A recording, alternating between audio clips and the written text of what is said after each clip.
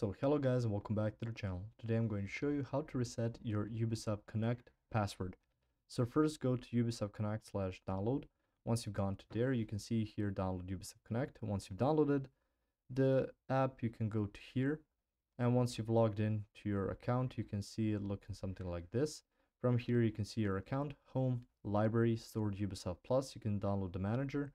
You can see some other video games prompted on here so you can click on this page, profile account management, key activation, settings, logout, and quit. So through your account management, you can see security, you can see privacy and communication, payment, and subscription. Now, what I suggest to reset your password is to log out. From here, once you're logged out, it's gonna load a bit and it's gonna open it again uh, with a prompt to and you can see here keep me logged in and you can choose the question can't log in? Which from there you're going to be taken to your Ubisoft can't, can't log in page.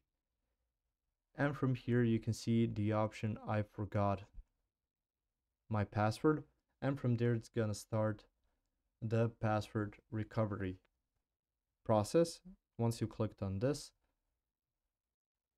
you can see it's going to load. You just need to fill out a captcha and you can put in your email address. So to identify the account you're having trouble accessing after that you'll gain a recovery password for your very account and just make sure you don't forget this one.